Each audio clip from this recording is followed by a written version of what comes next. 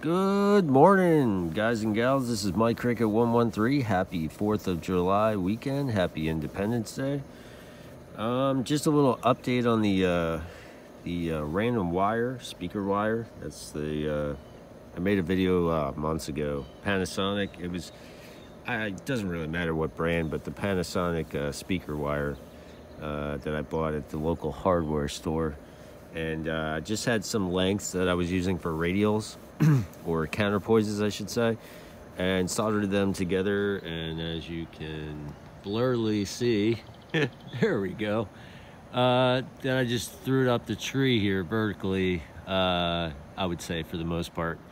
So anyway, I got a couple comments and I appreciate the comments and the info and the experiences that others have uh, tried with this. Uh, gentleman uh, said uh, he had really good luck with uh, uh, 71 feet and uh, 71 feet got him on 80 meters and uh, I think that's that's probably one of the lengths I'm going to give it a try. I think I'm just going to keep soldering more uh, length on here until, well, maybe that's not a good idea. I don't know. We'll, we'll see what happens, but I think I'm going to definitely go longer, like 54 feet or or 71 feet. 71 feet got the gentleman on uh, 80 meters in the voice portion and uh, and worked well. You just got to be careful because you don't want to when you're making a, a wire and there are there's information out there for these say quote random wires. Uh, there's information out there saying you just want to make sure you're not in the uh, half uh, wave area or or even quarter for that matter uh, of any of the bands that you're trying to work, whether it be amateur bands or, or something else. Um, so yeah, you just gotta, there are charts out there uh, to help you out with that. Excuse me, but we're gonna do the, uh, the 71 feet and give that a try.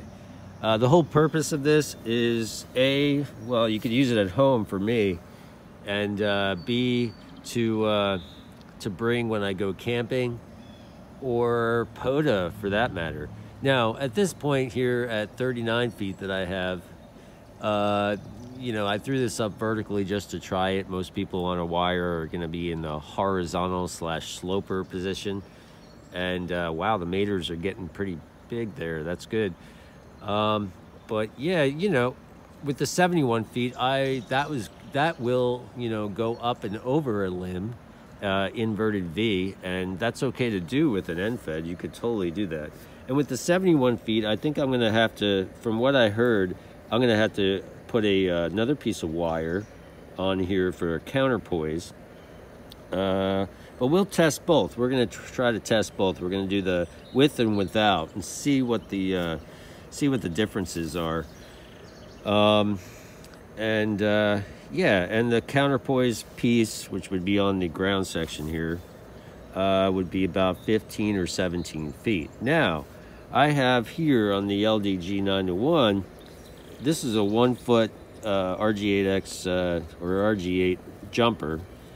And this is the uh, MFJ 1915 one one balun. There's 50 uh, little toroid beads, like tiny ones. They look like something on a necklace uh, inside here, and then that's going to uh, that is going to my RG8X uh, coax, which is at 50 feet. Whoa, there's lots of quotes there. At 50 feet, up and around and down, because I had it mounted to the gutter, as you can still see over there.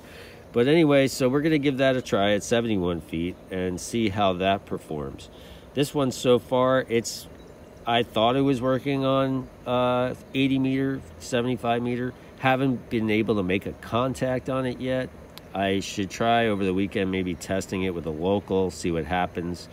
Uh, so I think that's where I'm. It's too short. It's too short, obviously, for uh, for 75 meter. I mean that makes sense. Uh, half wave on 75 is roughly or anywhere between 126 and 133 feet or something like that. I forget exactly. Uh, basically, what you do is you get for me, it would be like taking 468 divided by, let's say, the center of my portion, uh, 3.900 megahertz, and that will give you your, your exact half wave. Now, with a random wire, like I said, we don't want to do that, whatever that equals to, we don't want to do that number. You want to have it either above or below, uh, or even a little bit more below. In this case, we're going to do the 71 feet, and uh, it should work with the 9 to 1. With the 9 to 1. So that should match your impedance a little bit, so you should be able to work said band and uh, with the tuner and without. Now, some of the frequencies on this already, uh, some of the frequencies on this already, uh, like 10 meter and 12 meter, the SWR on the Yaesu directly from this box and that, uh, that to the radio with, without going through another tuner, the MFJ Versa tuner in the shack, on 10 and 12 meter, I'm running around a, a, a 1.7 to 2.0 SWR.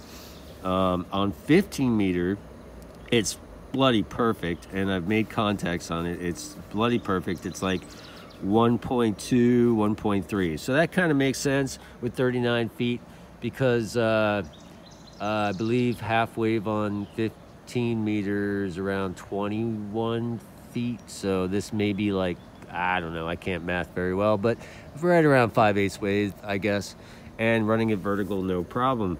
Uh, so where are we at here? So 17 meter, eh, not so much. It's kind of like more, uh, sorry, it's kind of like more the, uh, uh, you know, 1.8 to 2.1 area, which is fine, you know, that, you know, with amateur radio, you can get away with that. And I was running like 50 watts as test. Uh, this unit will take up to 300 watts, I believe. But uh, yeah, it's all good. It's all good. And then we go went to 20 meter. I made a contact, my first contact on this wire to that special event station I told you about in Quebec.